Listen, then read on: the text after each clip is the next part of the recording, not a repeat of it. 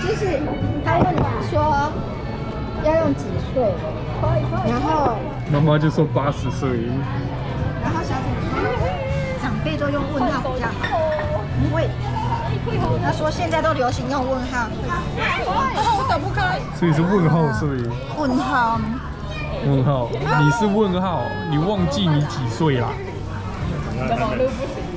这个我不会不想。